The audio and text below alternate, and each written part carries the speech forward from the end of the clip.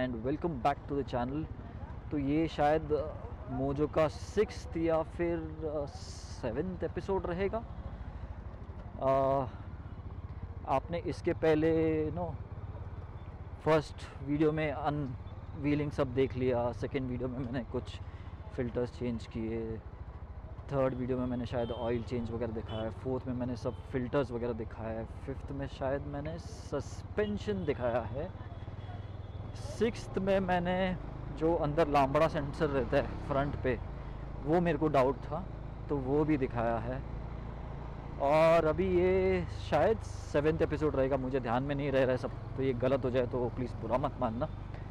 तो seventh video में अभी मैं आपको दिखाने वाला हूँ, मैं जाऊँगा बाइक लेके एस के ऑटो पे एंड वहाँ पे पूरा का पूरा थ्रॉटल बॉडी हम निकाल के अच्छे से क्लीन करेंगे। थ्रॉटल बॉडी और जो अपना फ्यूल पंप है not pump sorry F I है फ्यूल इंजेक्टर वो क्लीन करेंगे। तो वो सब आपको मैं दिखाऊँगा। क्योंकि इसका जो अभी वो जो पॉजिंग का इशू है वो अभी भी बिल्कुल सॉल्व नहीं हो रहा है। स्पेशली uh, जब नो ऐसे ठंडी ज़्यादा रहेगी बाहर या फिर कोल्ड स्टार्ट है तो गाड़ी ऐसे खड़खड़ खड़खड़ खड़खड़ खड़ करके जैसे ना पेट्रोल ख़त्म होने वाला है, ऐसे फील देती है। मिस फायरिंग वगैरह कुछ नहीं होता, लेकिन इग्निशन कॉयल जैसे कि ना स्पार्क नहीं दे रही है, या फिर एक सिलेंडर फायर नहीं कर रहा है, अगर ट्वेल्व सिलेंडर है और एक सिलेंडर उसमें फायर नहीं कर रहा है, या फिर पेट्रोल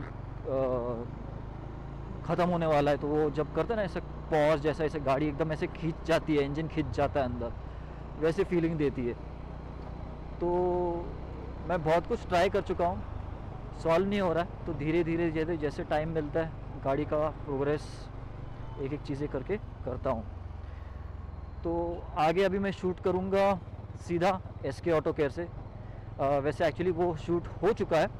ये मैं सिर्फ़ इंट्रो बना रहा हूँ अभी। आ, क्योंकि उसमें मैंने इंट्रो शायद डिटेल से डाला नहीं है। तो आप लोगों को समझ पड़ जाए कि मैं क्यों लेके जा रहा हूँ एस के पे। और एस पे मैं इसलिए लेके जा रहा हूँ ताकि यू नो थोड़ा सा एक प्रोफेशनल हेल्प भी मिल जाए मुझे, क्योंकि घर पे खोलने बैठ गया और कुछ मेरे पास सामान नहीं है टूल नहीं है, ये बाइक फ़र्स्ट टाइम खोलूँगा। टाइम लगेगा एक्स्ट्रा उससे अच्छा एस पे एस के पे कैसा है, थोड़े बंदे रहते हैं, उधर एक साथ हाइड्रोलिक बेड्रोलिक रहते हैं तो वो सब चीज़ें कुछ ऐसे खोलना पड़ा तो फटाक से मदद मिल जाती है।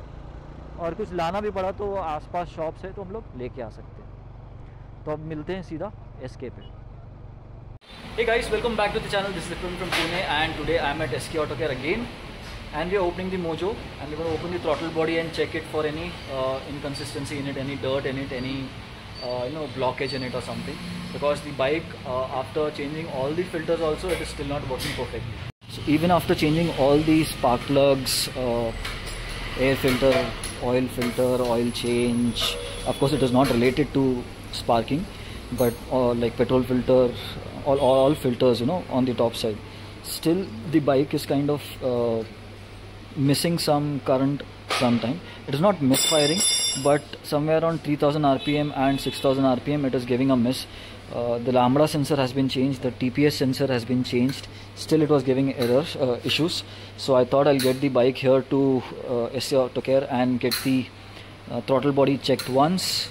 Throttle body is now out and this is how it looks it's not that bad but of course it is filled uh, we'll get it cleaned now oh quite a lot of uh, dirt actually this should not be happening inside a throttle body and fairly simple throttle body so this is the TPS sensor I've changed this also I've not shown it in the previous video but it is changed still it is having issue petrol काफ़ी आपको निकालना है तो tank में से निकाल लो we remove the injector to इसको भी चेक कर लेंगे क्लीन कर लेंगे and then will fix it back ये लो by the way to remove the fuel injector and the throttle body and all you remove you need to remove the plate that is covering this part over here on the bike uh, which holds the battery so remove all that then loosen both the bolts for uh, the air filter and there's one more bolt over here which opens from that side. So open that and then this pops out and then you can pop out the throttle body and the uh, the fuel injector is on this part over here. Okay? You can see that hole. It is not on the actual throttle body. You need to remove the left and side right panels also obviously to get easy access to everything. Not much to open uh, unlike Dominar where we need to open everything. But these guys know the trick for Dominar too. Cleaning the injector and throttle body with petrol. First it's the injector. There's a lot of dirt in the air filter too so the bottom part we'll remove it and uh, clean it. This is still work in progress. Look at all the black color cleaning of both is done.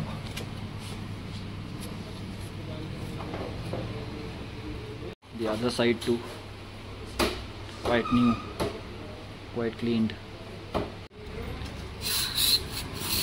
Cleaning it with anti-rust stuff also. Carburetor and choke cleaner actually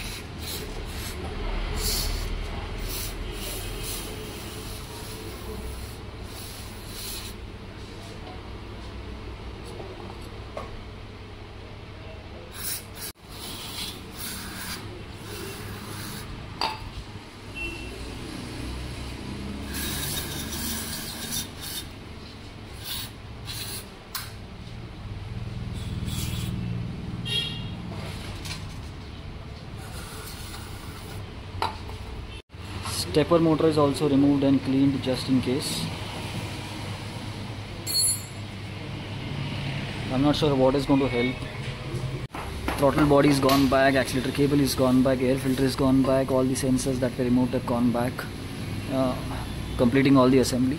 We're just trying to seal a hole that was open which is for that one. That's the airbox excess oil and all you know that comes out so it's a drain for that section and that is open in my bike मस्त हवा से बातें करती है जब full speed भगाऊं तो अभी 110 touch किया बट ये जगह रिस्की है इसलिए ज़्यादा ट्राई नहीं करेंगे कहाँ से भी कोई भी बाहर आ सकता है तो ये सब जो काम किया ना एस के ऑटो केयर पे, जो हमने थ्रॉटल बॉडी क्लीन की एंड फ्यूल इंजेक्टर क्लीन किया और जो पूरा इनटेक सिस्टम है फ्रंट साइड पे इंजन हेड के पहले, वो सब जो क्लीन किया, उसमें से जो गंदगी निकाली एंड जो एयर फ़िल्टर था, उसमें एक ड्रेन पाइप होता है ड्रेन होल होता है, जो ओपन था मेरे बाइक में, वो हमने सील किया। आपको लास्ट में दिखा रहेगा। तो ये सब चीज़ें करने के बाद एस के ऑटो केयर पे अभी मैंने एक चीज़ नोटिस की है कि अभी जब मैं गाड़ी भगा रहा हूँ फुल स्पीड पे है ना हायर आर पी एम पे आ, मेरा नॉर्मल राइडिंग स्टाइल बहुत काम है। तीन चार हज़ार आर पी एम पे मैं आराम से चलाता हूँ जैसे अब चला रहा हूँ। लेकिन जैसे ही मैंने वो आपको जो स्टार्टिंग में दिखाया एक मतलब स्टार्टिंग में मतलब इस क्लिप के पहले जो मैंने क्लिप डाली थी जो मैं गाड़ी भगा रहा हूँ तो अगर वैसे हाई आर पी एम पे रख रहा हूँ तो गाड़ी काफ़ी स्मूथ चल रही है मतलब स्मूथ इन द सेंस जो मिसिंग का इशू आ रहा है या फिर जो पेट्रोल ख़त्म होने का जो इशू साइन आता है, जो नॉर्मल कोल्ड स्टार्ट पे आता है आप लोगों को जो मुझे इस बाइक में लोअर आरपीएम पे गाड़ी ठंडे होने पे जो ज़्यादा आता है, गर्म हो जाने के बाद बहुत कम हो रहा है अभी हार्डली नोटिस होता है। अगर गाड़ी मैंने फुल स्पीड पे भगाई है कांस्टेंट हाई आरपीएम पे तो तो बिल्कुल पता नहीं चल रहा है। और उसके बाद थोड़ी देर और मैं अगर स्लो चला लूँ तो भी उसमें पता नहीं चलता लेकिन जैसे जैसे गाड़ी कूल हो जाती है, वो वापस पता चल रहा है इशू। तो मेरा अभी कंक्लूजन फ़िलहाल ये है कि इधर इसकी कॉयल किधर लूज़ कनेक्शन वगैरह है, या फिर कॉयल ठंडे होने पे इशू हो रहा है, जैसे पानी डालने पे होता है डोमिनास के कॉयल पे तो वो शायद इशू हो रहा है कॉइल्स पे, या फिर जो लामबड़ा सेंसर है जो मैं ऑलरेडी दो चेंज कर चुका हूँ। एक दूसरे बाइक का लगाया था और जो मेरे बाइक का था उसको क्लीन करके भी फिर से लगाया तो भी सॉल्व नहीं हुआ था। मे बी ये दोनों लामबड़ा सेंसर ऑलरेडी ख़राब थे तो मुझे तीसरा एक लामबड़ा सेंसर ट्राई करना पड़ेगा। और फोर्थ पॉइंट है थर्ड पॉइंट जो है वो है मे बी मेरे ईसीयू में किधर तो भी कुछ तो इशू है आ, या किसी और सेंसर में कुछ इशू है। जो लेटर स्टेज पे जैसे ही मैं काम करता हूँ, आगे वन बाय वन चीज़ें जब मैं सॉल्व करता हूँ ट्राई करता हूँ वो आपको वीडियो के माध्यम से वीडियो के मेरे ब्लॉग्स के माध्यम माध्यम से आपको पता चल जाएगा। You will come to know by my blogs but एक हेल्प चाहिए मुझे सभी लोगों से, ये जो मेरे ब्लॉग्स है प्लीज़ शेयर कीजिए मोजो के ग्रुप्स में, मोजो के ओनर्स से। शायद उन्होंने कभी ये इशू सॉल्व इशू किया आया रहेगा उनके बाइक को और इशू सॉल्व किया होगा। तो एटलीस्ट वो कमेंट कर देंगे सोल्यूशन तो मैं वो भी ट्राई करूँगा। तो शायद हमारी बाइक फटाफट सॉल्व हो जाए इशू हमारे बाइक का इशू फटाफट सॉल्व हो जाए। एंड मैं मॉडिफिकेशंस की ओर नेक्स्ट स्टेप शुरू कर दूँ कलर भी चेंज करना है बाइक का। हेडलाइट सेटअप फॉगलैम्प सेटअप भी ठीक से करना है। अभी सब ये सब टेम्प्रेरी है। तो thanks for watching till the end and मिलते हैं नए वीडियो में आप सभी लोगों से like share Do you know where secrets go? Cause I've forgotten mine. They've slipped out of my control, and you know where they hide. Mm. Your love's a little heavy, you're touching me already, and it's working up my nerves. You should probably forget me, cause I'm terrified you'll get me when I'm at my